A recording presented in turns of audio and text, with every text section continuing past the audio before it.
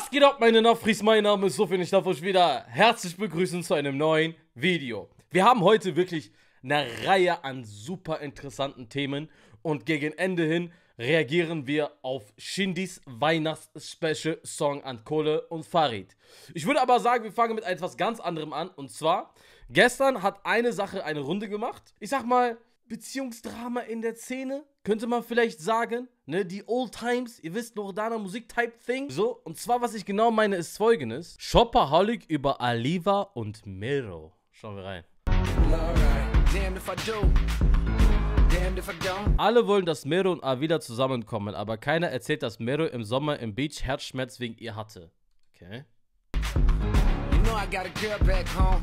Und dann kam Hava dazu gestoßen und schrieb, ob stimmt oder nicht, aber ich finde das so uncool, sowas zu droppen auf Kosten anderer, nur für einen coolen Thread. Bleib lieber bei Rabattcodes.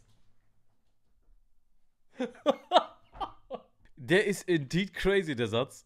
Äh, schauen wir weiter. Ich weiß nicht ganz genau, was die Aussage dahinter sein soll. Äh, sie, sie liegt anscheinend oder sie denkt liegen zu können, dass da anscheinend vielleicht hinter der äh, künstlerischen Zusammenarbeit zwischen Aliva und Mero etwas mehr ist. Nichtsdestotrotz, wenn es wahr sein sollte, finde ich es, wie gesagt, Hava schon, äh, gebe ich ihr recht, sehr, sehr asozial, sowas zu leaken. So. Äh, und wenn es halt gelogen ist, ist es natürlich umso schlimmer, halt Gerüchte äh, verteilen. So. Das hat auf jeden Fall die Runde gestern Abend gemacht. Und es scheint, dass Bushido in einen kleinen Shitstorm reingeraten ist. Ähm, und das wegen dem erst kürzlich erschienenen Interview mit Cheyenne Garcia. Okay? Ich werde euch jetzt erst erstmal den Clip zeigen, der für viele Bushido in dem Moment sehr, sehr unsympathisch gemacht hat. Let's go. Meine Depression, ich habe jetzt, die, ich war die letzten zwei Monate, gehe dreimal die Woche für eine Stunde zu jemandem. Sag weißt du, warum ich mit diesem äh, Hurensohn Bones ein, ein, ein Beef angefangen habe? Weil er mich genau für diese Situation ausgelacht hat und deswegen fick ich seine Mutter. Ich habe ja auch so einen Schritt jetzt letztes Jahr, äh, nee, dieses Jahr schon gemacht, wo ich auch gesagt, ey, hör mal zu, ich bin krank. Ich hab Depressionen. Lasst mich alle in Ruhe. Seitdem habe ich auch Ruhe. Ich habe das Video gesehen. Ja, danke, dass ihr euch da amüsiert. ey, das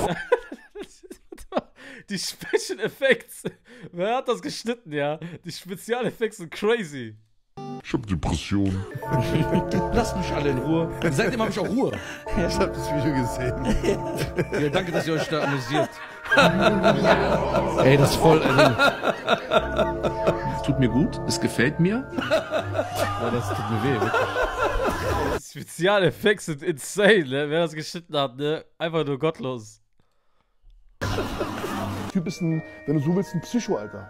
Kein Respekt, mein Vater. doch selber so eine Situation gehabt, wo der was ein Schweres redet auf einem anderen Land. Der, kennst du das? Hör mal zu, ich bin krank. Ich hab Depressionen. Ach, oh, Digga, ich meine, Ich hab auch gesehen, wie er gerade anfängt zu grinsen. Ja. Der Unterschied zu einem Nicht-Narzissten besteht schlicht darin, dass der Narzisst im Laufe seines Lebens gelernt hat, Empathie ein- und wieder auszuschalten, je nachdem, welcher Modus ihm gerade nutzt. Das, das war echt. Das ja. war Bruder, das war von ja. Herzen, Bruder hier. Weil der ist krank. Weil der ist krank. Ja, ich schwöre. Ja. Ist es wirklich so ein ekliges Gefühl gewesen? Das Video ist äh, online gekommen und wie ich mich drei Tage lang gefühlt habe. Und das war nicht so schlimm wie gerade eben. Er sagt selber, ich werde jetzt Bones dafür dissen, weil er sich über mich lustig gemacht hat, aber er macht das gleiche bei dir. Ich gucke mir nochmal den Clip ungeschnitten an, also bei dem Interview selber, weil ich habe das Gefühl, nicht, dass hier irgendwie was geschnitten ist oder zurechtgeschnitten ist. Deswegen, das ist schon mal wichtig, das abzuchecken. Hast du ähm, irgendwann, so, also für mich als Zuschauer hat sich das so ergeben, dass du dich irgendwann so entschieden hast, mir scheißegal, ich habe keine Maske mehr, ich habe gar keinen Bock mehr, nimmt mich so wie ich bin, nimmt, nimmt meine Familie so wie sie ist, ich zeig alles, ist mir egal, was ihr denkt. Ich habe das gefeiert. Weil ich sage, ich finde das geil. Ich habe ja auch so einen Schritt jetzt letztes Jahr, äh, nee, dieses Jahr schon gemacht, wo ich auch gesagt, ey, hör mal zu, ich bin krank. Ich habe Depressionen. Lasst mich alle in Ruhe. Seitdem habe ich auch Ruhe. Ich habe das Video gesehen. Ja, danke, dass ihr euch da amüsiert. ey, das ist voll. Also, boah, das tut mir weh, wirklich. Das erste Mal, dass wir uns verstehen. Ja, ja. Ja, weil du ein Asozialer bist. Ey, komm, das, das ist Asozial. Kein Respekt, mein Vater sieht das. Oder meine Mutter wird das sehen. Mein Vater. doch selber so eine Situation gehabt, wo der über seinen Schmerz redet, aber bei einem anderen lacht der. Kennst du das? Das ist man will nicht, dass was. Ach, wo, wo das meine Ich habe auch gesehen, wie er gerade anfängt zu grinsen. Ja, Bruder, bitte. Ich weiß, äh, ich, ich, ich, ich weiß nicht, warum er lacht. Es ist an sich, hast du eigentlich das Gefühl, also der Linke feiert das so mit und lacht mit, ne? Es fühlt sich, es fühlt sich jetzt nicht dreckig an. Das, da bin ich ehrlich so, ne? Die Thematik Depression ist ja an sich eigentlich überhaupt keine witzige, ne?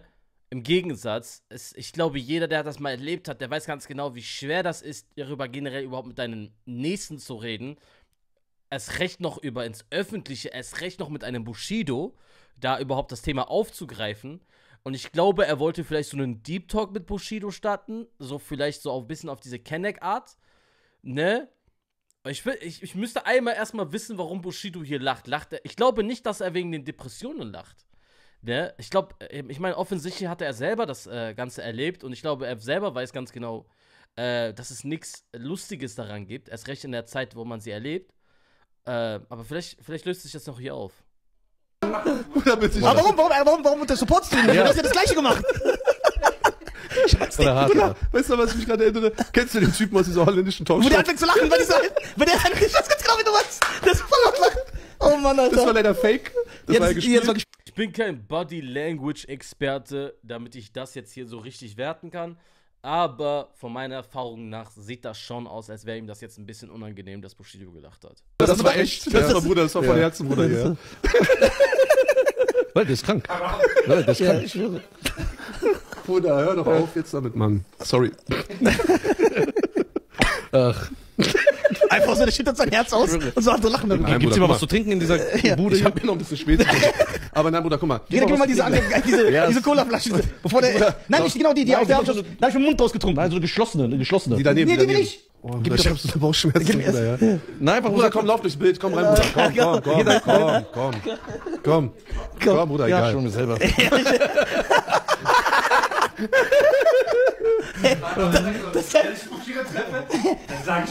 Ja, dass wir gleich sind. Wir sind aus dem gleichen Holz geschnitzt. Und dann wird er so direkt, oh mein Gott. Aber egal, trink einen mit Bull, da kriegst du erstmal Energie. Ich hab dir gesagt, mach das Statement nicht. Hast so richtig.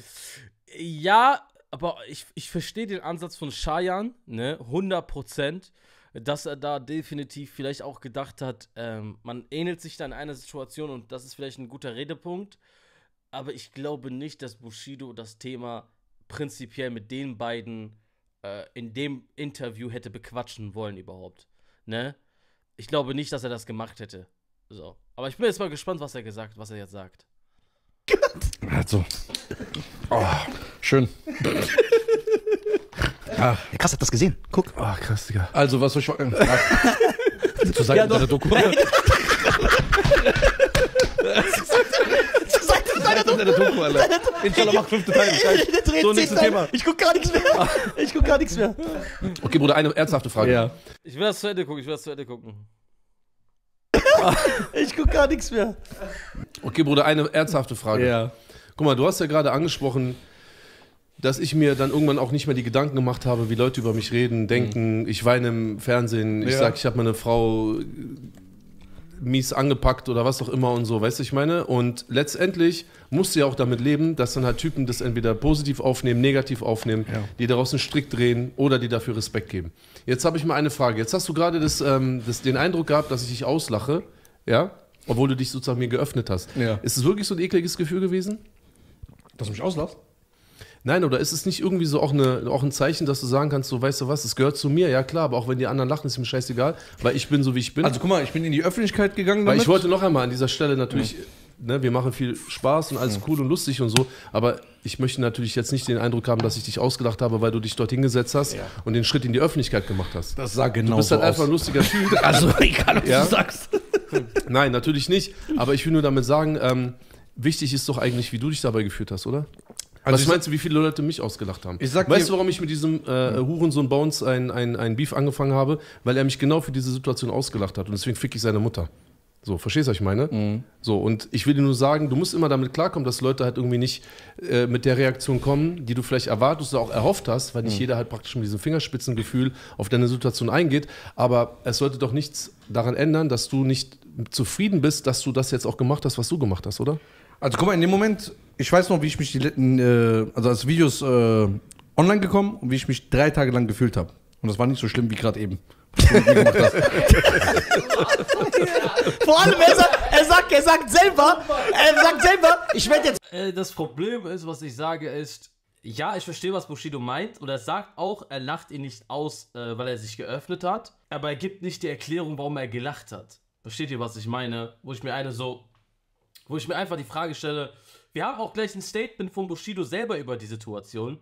Ähm, deswegen, das wird auf jeden Fall interessant, dass er wenigstens selber den Grund eingibt, zu sagen, ey, ich habe eigentlich nur deswegen gelacht. Sodass das man, so dass man zumindest, zumindest ihm erklärt, so nach dem Motto, so, ja, ey, das war jetzt wegen das und das, verstehst du? Weil jetzt sieht es so aus, ich nehme Bose MC auseinander, weil er über mich, über meine Depression gelacht hat. Und dann denkt man natürlich von dem, was man jetzt hier gerade sieht, dass man am Ende des Tages ihm das selber dann vorwerfen kann. Dass man halt selber über eine Depression gelacht hat. Oder geschweige denn über das Öffnen davon.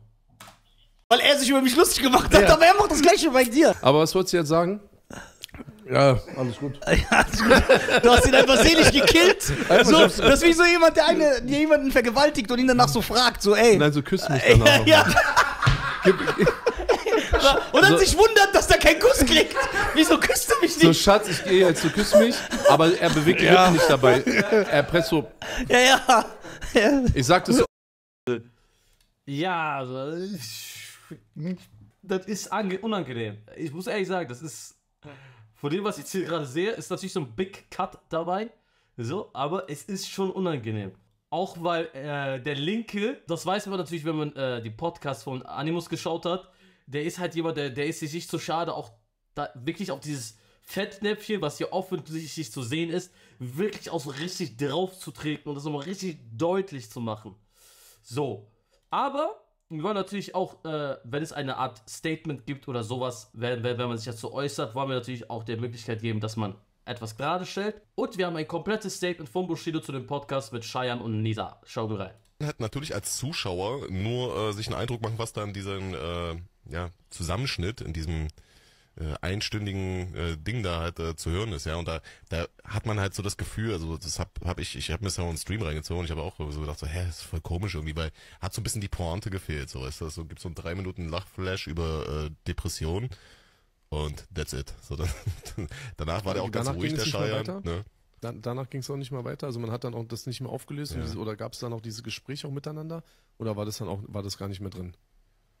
Also ich habe da so das Gefühl gehabt, äh, dass danach dann sich schnell auch anderen Themen gewidmet wurde. Also ähm, das Gut, wurde dann- nicht so wirklich aufgeschlüsselt, nicht so wirklich aufgelöst, das Ganze.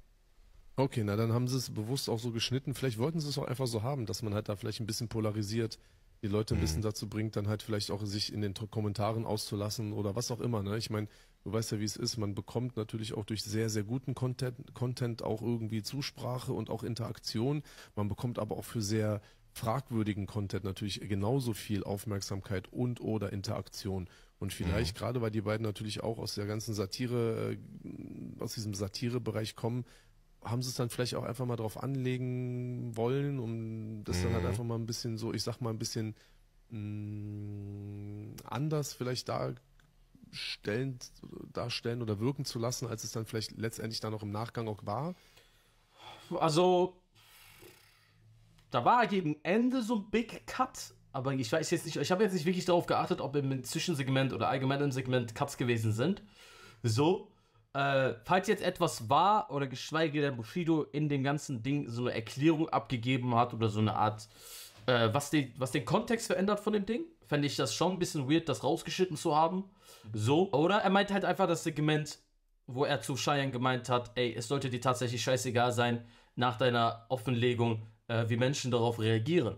So, ne? Weil du hast es ja eigentlich nicht dafür gemacht. Für die Tatsache, dass Leute dich bemitleiden oder teilweise dich auslachen. So, wenn er das meint, ja, das ist schon, sagen wir mal, das lässt den Clip jetzt nicht so brutal aussehen. Trotz allem hätte ich mir definitiv viel mehr Fingerspitzengefühl gewünscht. Also viel, viel mehr.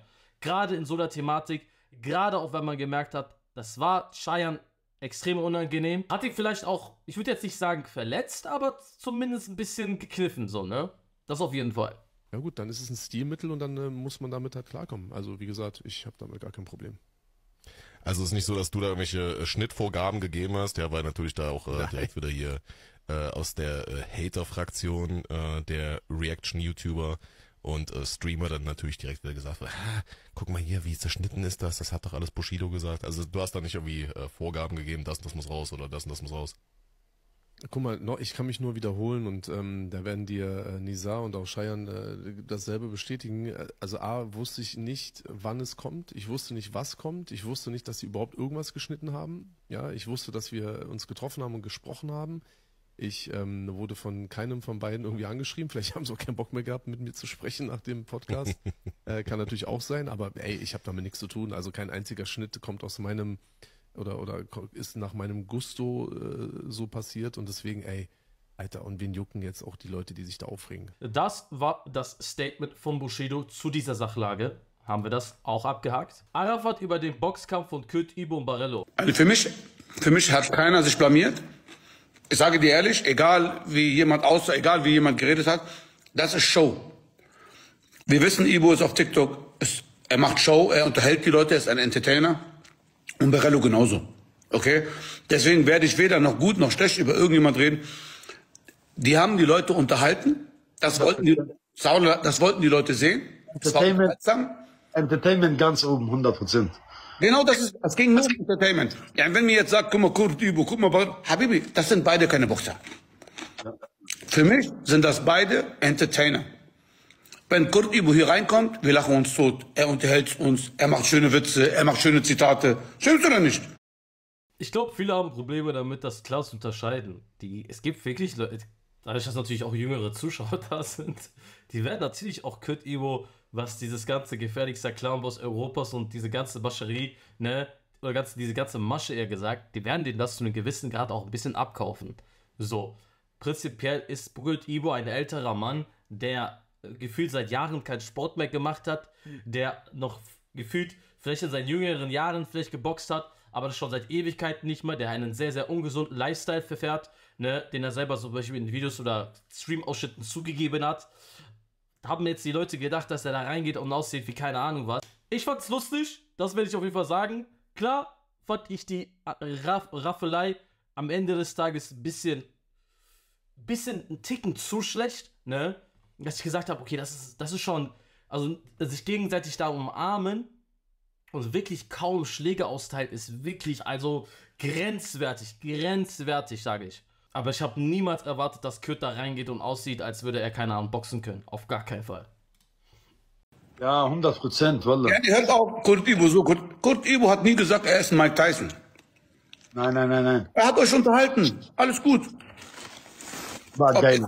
Ich, bin gestorben vor Lachen, Wallah. Ich finde, jetzt sage ich dir ganz ehrlich, weder hat Kurt Ibo kassiert, noch Barello hat kassiert. Keiner hat kassiert von getroffen, Bruder. Ja. Ja, aber das ist dann auch wieder dieses Kassieren, äh, ne, nimmt, stellt das in so ein Licht dar, als wäre das so was Ernsthaftes zwischen den beiden gewesen. Das war es gar nicht. So, am Ende des Tages, Barello hat gewonnen. So, Kurt Ibo, Vaterzeit ist schon längst da, hat sich einen Leistenbruch eingeholt.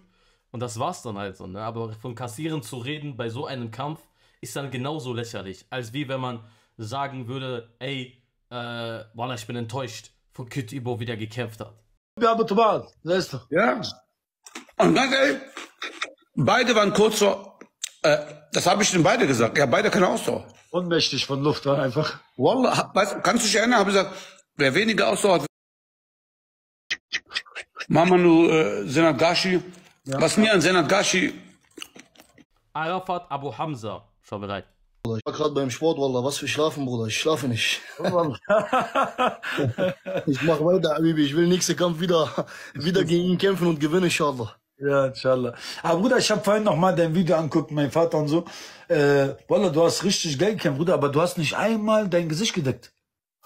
Bruder, guck mal, ich sag dir was, ja, Habibi. Ja. Ich bin ein Kämpfer und wer kämpfen will, soll kommen. Ich kämpfe gegen jeden auf Straße. Okay? Ich bin nett zu Leuten, die nett zu mir sind. Wer kämpfen will, ist kein Problem. Ich kämpfe gegen jeden. Aber Hamza, darf ich dir einen Rat geben? Wallah, ich hab vor niemandem Angst. Darf ich dir auf, keiner sagt ja, du sollst Angst haben. Das sagt keiner. Aber, Ich komme wieder, Habibi. Ich komme wieder. Aywana, Ich komme wieder. und Ich nicht, komme voran. aber Hamza, kämpf auch nicht gegen jeden. Mach dein Training, ja, box im Ring und alles ist gut. Besser. معك والله Wallah, alles andere ist nur Kopfschmerzen. عن جد يا Du sagst, Äh, اسمع في مثل بقول لك ابعد عن الشر وغني له. so sieht's aus, Habibi. Genau so. Genau so ist es. Super geil. Eine Frage habe ich an dich. Also ich fand Abu Hamzas Kampf mit Amar richtig gut, aber ich glaube, ein Rematch würde ich jetzt nicht wirklich fühlen. Ich finde einfach jemand, der so eine, der so eine Performance geliefert hat wie Amar in seinem letzten Kampf, der, der hört sich damit belohnt, einen besseren Gegner zu kriegen oder einen Gegner, der ihm wieder natürlich in seinem Weg weiterhilft. So, wer das jetzt genau ist, das, da wüsste ich vielleicht, da wüsste ich natürlich einen, aber da gehört ja auch die Paarung, die wird ja wieder wahrscheinlich wiederholt in Zukunft. So, dementsprechend schwierig, wie schwierig, schwierig, schwierig gegen wen er als nächstes kämpfen würde. Schwierig. So, zu guter Letzt ziehen wir uns das Weißnacht-Spezial von Shindy rein. Okay, Shindy hat gestern zum Weihnachten einen äh, Song gedroppt. Oder einen Song-Snippet oder einen Song-Ausschnitt. Und der soll für ein bisschen äh, Wirbel gesorgt haben. Und zwar zu guter Letzt, als letztes für heute. Let's go. Crystal Matte.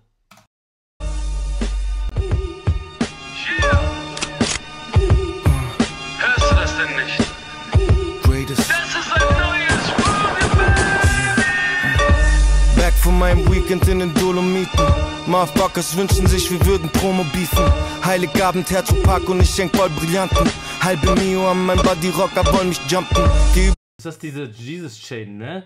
Ja, ja, ja, ja, ja. Ist natürlich ein krasses Piece. Das Ketten-Game allgemein oder das Chain-Game allgemein in Deutschland ist gar nicht so ein wirklich. Ist eigentlich weak, wenn man ehrlich ist. Ne? Kaum einer trägt so eine krasse Chain. Ist gar nicht so in der Kultur eingebunden in Deutschland oder in der Hip-Hop- in der Hip-Hop-Kultur. Äh, ich glaube, hier mehr sind äh, Uhren der Flex, ne? Aber in Amerika, insane. Was die für Pieces machen, wie viel Geld die da reinballern. Promo beefen. Heiligabend, Herz Park und ich schenk voll Brillanten. Halbe Mio an mein Body Rocker wollen mich jumpen. Geh über Leichen für die Villa an dem Seeufer. Jeden Tag am Grinden, so wie Blizzy auf dem E-Scooter. Mein Name ist für Rapper wie ein rotes Tuch. Was soll ich sagen? Hurensöhne haten seit der großen Flut. Es ist Alpha, guck wie ich ein Kalb schlachte. Es ist Alpha, wie ich Intervall passe. Es ist einfach, wie ich ein Kalb schlachte. Es ist einfach, wie ich Intervall faste. nicht schlecht, nicht schlecht, nicht schlecht, das Shindy. Verguckt, wie ich ein Kalb schlachte. Es ist Alpha, wie ich Intervall passte. Mein Mindset pushe, nichts falsch mache. Farids Mutter fick auf Kollegas Kristallmatte. Boah. Also diese Mutterbeleidigungen, die kommen mittlerweile rausgeschossen wie das Hallo am Morgen. Es ist schon krass, ist schon krass, ist schon krass, wie die Szene sich entwickelt. Ich sage euch ehrlich, so wie es ist. Dieses ganze, äh, ich fick dies, ich fick das, ich fick jenes, dieses, das damit ist jetzt nicht persönlich Shindy gemeint. Natürlich hat Farid selberes äh, auf dem Album gemacht, davor wieder, ne? Das ist jetzt einfach diese Dynamik zwischen den beiden.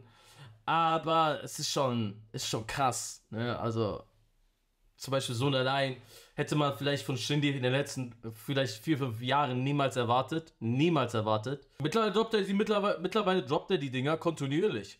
So. Ist natürlich, äh, ist natürlich rein von der Aussage her herbe punchend, muss man natürlich so sagen. Ist schon ein bisschen auch ekelhaft die Aussage. Auch das auf jeden Fall. Äh, aber ja. Schauen wir weiter. Schildkrötengesicht. Strichjunge macht mir ein auf Marvel-Film Bösewicht. Ihr wollt alleinerziehende Mütter ficken, fangt mit euren eigenen an. Ich komm im Schlitten mit paar Bambis wie der Weihnachtsmann. Ja, Shindy will wirklich diesen Beef, ne? Also auch gar keine verkehrte Line. Ihr wollt mit ein paar alleinziehenden Müttern, ihr wollt ein paar alleinziehende Mütter ficken, fangt mit euren eigenen an. Alter, Alter, Alter, Alter. Das sind Sachen, die gehen natürlich hardcore unter die Gürtellinie. Aber prinzipiell äh, Farids Album äh, Asphalt Massacre 4 äh, grundsätzlich hatte es auch diesen selben Ansatz wie bei Asphalt Massacre 3 mit Flair, dass Shindy da auch komplett äh, fast in jedem Song eine Referenz hatte. Ich glaube sogar, ich weiß nicht welcher Song das war. Ähm, da hatte Farid gegen Ende des Liedes ne, angemerkt, ah, ich habe heute ja gar nicht, ich habe ja, ah, ich habe ja gar nicht Shindy in diesem Track gedisst, ne? Und dann Shindy du Noten. so, das ist bei denen mittlerweile, das ist, das ist der Standard geworden. Crazy. Wer hätte das vor ein paar Jahren gedacht? Ich schwöre. Ich hab Attitude wie Edeluren in Bratislava, stoned as fuck, drunk as fuck, vorbestraft wie Farids Mama. Ich bin erst zufrieden, dann wenn Schüsse fliegen. Oh, oh, okay. Ah, aha, aha, aha, aha. Vorbestraft, okay. Fängt der Beef an, auch persönlich zu werden? Teilweise, dass man jetzt Sachen anfängt, in den Tracks zu leaken über den anderen? Oder was ist jetzt mit dieser Line gemeint? JBG, ich ficke Mütter und ihr müsst es lieben.